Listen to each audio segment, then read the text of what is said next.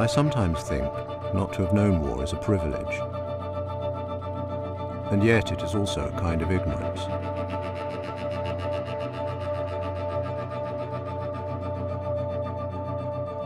In much of Europe, the wars of the last century are fading from view. They're no longer things that most people have lived through, things they know.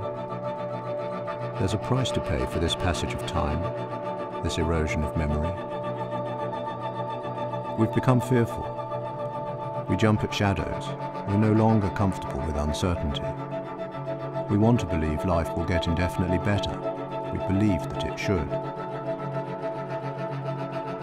Fortune is an arrow, flying into the future, and fear follows from this. Fear of the stranger, in particular.